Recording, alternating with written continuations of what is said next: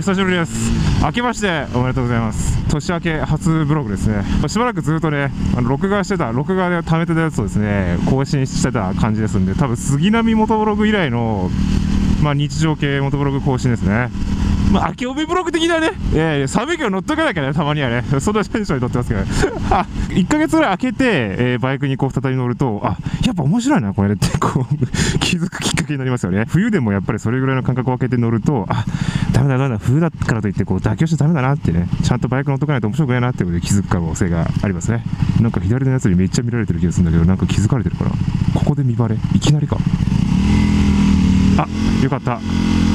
話しかけられなかったセーフセーフ年末年始の話になるんですけどね帰りましたよ福岡ね結局ね JAL で帰った JAL でえちょ JAL さ 高えなやっぱほぼ定価だよ JAL の。6万5000円ぐらい太りましたね、うん、恐ろしい。だからただね一つ今回これもねちょっとポジティブに捉えるとあいい経験だったなと思ったのが、まあ、普通席がもう全部埋まってたんです。僕が帰ろうともう思い立った時にはね予約でね。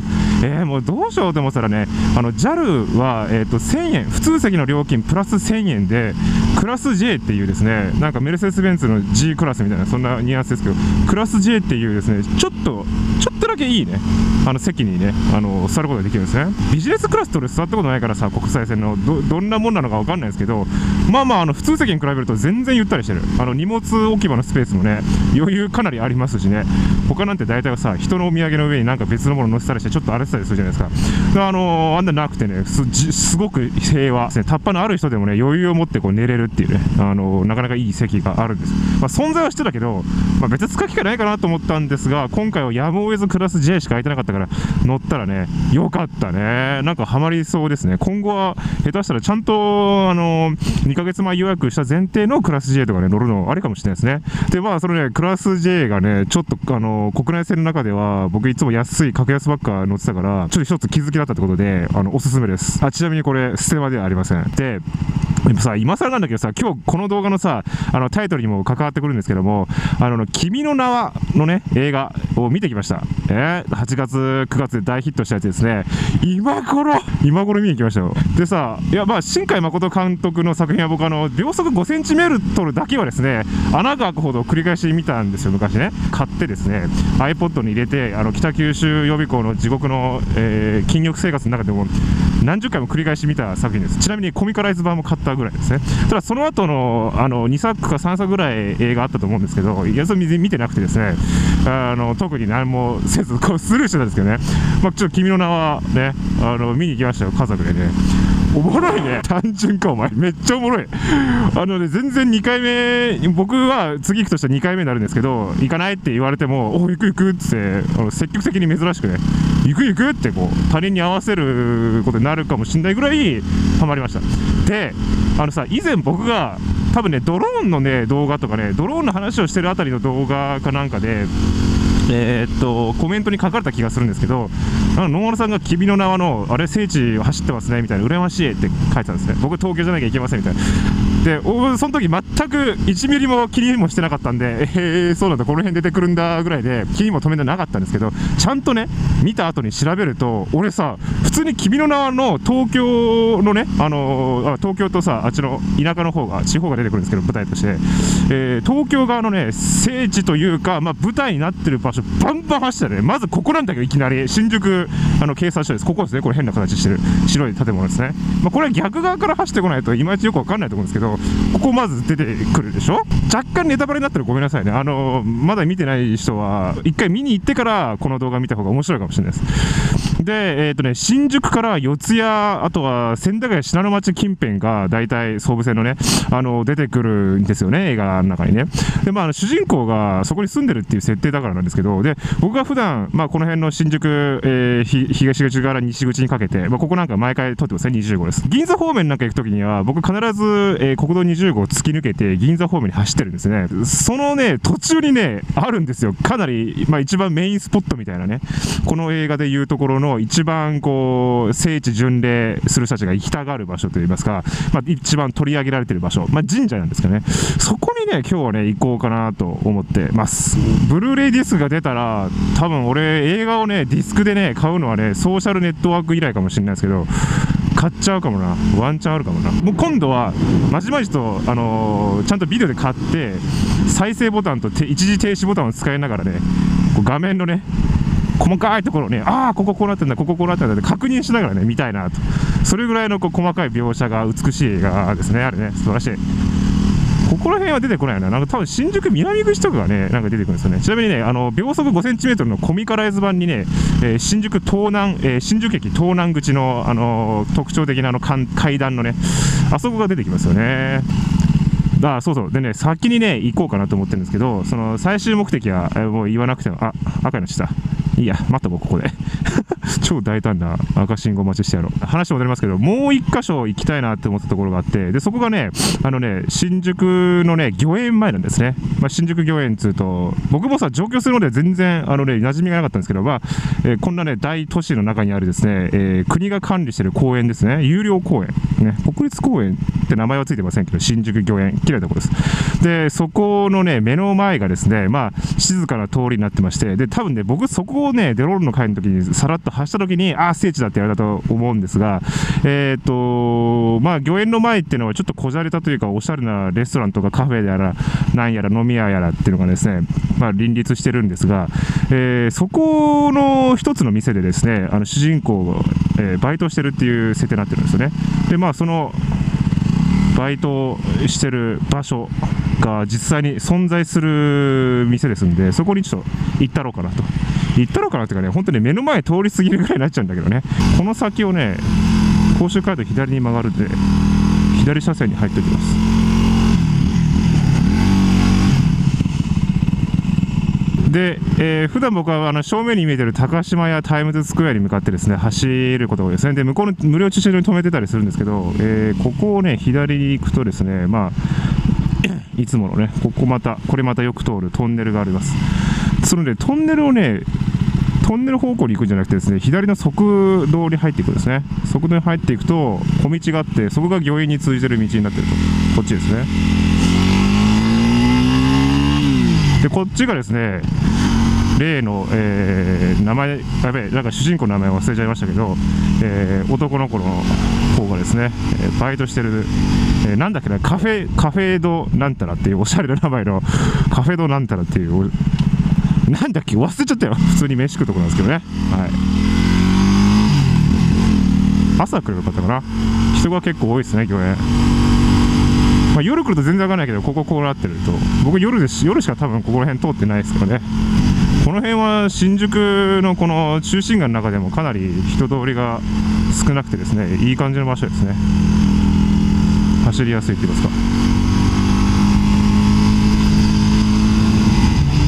か。はい。見えてきました。えー、っと、どうやって、ハザードの出し方忘れちゃった。あ、ここじゃねえ。ごめんごめん、ここじゃねえ。ここじゃないですね。もう一個先ですね。あれ？ここじゃないな。どこだっけ？あれ？意外と奥まで行きますね。ああ、ここですね。はいはいはい、ここです。よし。ちょっと止まりますよ。ちょっと止まりますよっと。恥ずかしいね、こうやって人がいるとね。くっそ、夜来ればよかった。夜か朝来ればよかったですね。ちょっと時間が遅すぎましたね。あ、人がいっぱいいるから止まるのやめよう。まあいいや、ここです。以上。こんなとこですよ。四谷区民ホールってとこですね。この四谷区民ホールを目印にですね、右に行くとですね、はい。まあ、ここはよくまた、これまた僕が走ってる場所ですね、しょっちゅうね。えー皇居側に抜ける、えー20号の道です。で、まっすぐと四谷駅ですね。で、その四谷駅は、その先輩、あ、これ言わない方が、ネタバレなんか言わないですけど、まあ、そこも四谷駅のなんだろうね、改札出たところもですね、何気にね、えー聖地化してるってことで、なんかすごいね、結構身近なところに聖地があったって、うん。しかもこんなに大ヒットした作品の中でってね、あの出てくるとやっぱ面白いですね。で、最終的な今日の目標が菅神社ってところなんですけども、まあポスターなんかにね、映ってるところですね。君の名はっていうところのポスターが菅神社の、えーなんかね、いい感じの坂の上から、えー東京の街を見下ろしてる風景があるんですけども、まあ、そこが今日のメインスポットなので、そこ行ってからね、帰るっていう、まあ、そういう、えー新年明けおめ、元ブログにしようかなと思っております。四谷三丁目駅前です。ここ右に行くと首都高の、えー外苑入り口があるところですね。じゃなくてこの1個先ぐらいですね。完全な多分ね住宅街ザ住宅街の中にひっそりある神社ですね。地元民じゃないと普通わかんないよねこんなところで。だからさ逆にその新海監督ってさおすげえここのさ四谷消防署だっけ？上にあそこヘリコプターあるんだけど気づかなかった？こっから離着陸すんだ。すげえな。風すごそう。でこう右折する場所があるのか本当に。ああるね。へえ。こんなとこ右折しようなんて考えたこともなかったよ俺。ね。でそしてここが多分だけどあのえっ、とね道が分かれてるんですけどこの先がねこいつはまた聖地らしいでなんかのブログで見たよ。あのね主人公のどっちかがここ走っていく場所ですね向こうに向かってね。うんなんかすっげえ見覚えがある。俺昨日か一昨日ブログで見た場所だこれ。そうだここ写真撮ってる人いましたよ。えいでまあ左に行くと。ブイーン。こんなとこダブル R で来るやつなかなかいないと思うんですけどね。あもう神社が結構あるんですよね。ねこんなとこ神社あったんだって感じですよね。普通知らんわな。ではいありました。えっ、と前にね菅公園菅パークって書いてます。これちょっと右折ですね。右折。お GSX あるかなこれ。うん。菅神社入り口あ意外と人がいますね恥ずかしいぞこれはえー、駐車場とかあるかな駐車場があればいいん。ですけどなさそうですねしかも俺絶対邪魔になってますねはいここが一応そういういい感じの場所ですね久しぶりの WRX の第三者視点ですねやっべえねやっぱ綺麗だね。ツヤツヤだね。あたまには掃除してあげないと。微妙に黒くなってますね。微妙にね。でもまだ綺麗ですね。うん。掃除してやらないわ。ごめんね。じゃあちょっとあの世界最短の聖地巡に寄ってきます。これを持って上に上がってすぐ帰ってくるだけです恥ずかしいんで。この格好だと浮きすぎるよな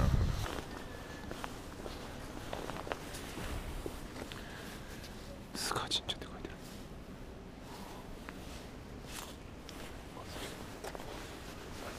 こっちは前になってる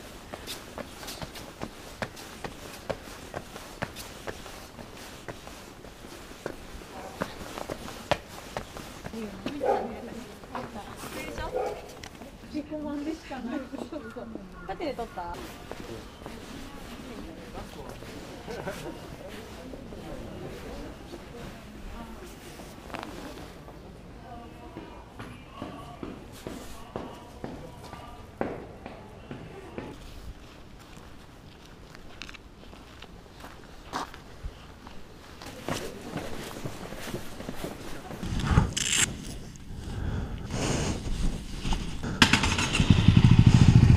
とまあそんなところでしたね。はい。人が思った以上にいっぱいで、えめっちゃ恥ずかしかったです。スーパー浮く格好ですからね。基本的にライダーの格好ね。しかも今俺ズボン迷彩だからね。最悪な組み合わせですよ。いい雰囲気ですねてか僕ね神社よりもねこっちのね菅の森なんとかっていうその賃貸マンションの方が上上にあるね。あっちの方が気になってしょうがないんだけどね。何あれめちゃくちゃおしゃれじゃん。超住みてえわ。完全に場違いないやつが来てす すいませんでしたね。ねこんなに結構こう坂があるっていうのがねそもそも意外な話ですよね。4ヶ月5ヶ月経ってそんなに人はいないのかなとか思ってたけど全然いるやん。なんかもうスマホを持って歩いてる人とかは完全に政治巡礼感が出てますね。へえ。では帰るかなまあそれだけですよ。それだけですよ。本当に今日は。ちょっと路地に入るとすぐ結構な坂があると。であそこの階段をね菅神社の階段登りきたところがちょうどこうパーっとね少し開けてる。実際見えて分かったのがあの映画に出てくる風景とは少し違うのかなあれって。ちょっとちゃんと見直してみよう、多少はね脚色つけて書くと思うんですけども、うん、でもいいですね。あんな都心の中にバーって開けててね。もしあれでさ御苑が目の前にうわーって広がるような場所だったらすごいすごい価値のある景色だなって思いますけどちょっとここじょ御苑からはね少し離れてますからね。さすがに方向的にも全然違いましたね。聖地巡礼とかしたのいつぐらいかな？かなり久しぶりにやった気がしますね。いいっすね。菅神社。はい。菅神社をお送りしました。てなわけで、まあ、なんか知らぬうちに僕は、えーと、君の名はに出てくるですね、場所の近くをですね、よく通ってましたと、えーそういう話でございます。なんか一発目がまさか聖地巡礼動画になるとは思わなかったんですけど、想像以上に近くにあったんで、ちょっとやっちゃいましたね。えー2017年もですね、まあ、ゆるゆるっとやっていこうかな。まあ、夏になるとね、更新頻度が爆上がりするはずなんで、えーちょっと 我慢の時期なんですけど、ま、できる限りね、ホーネットとかね、しばらく乗らなかったせいで、いろいろとなんかね、あのぶっ壊れかけましたから、ちょっと WR、ちゃんとね、エンジン動かしてね、乗っていきたいと思います。というわけで、新宿、えー東口、東新宿からお送りしました。じゃあ次の動画でまた会いましょう。今年もよろしくお願いします。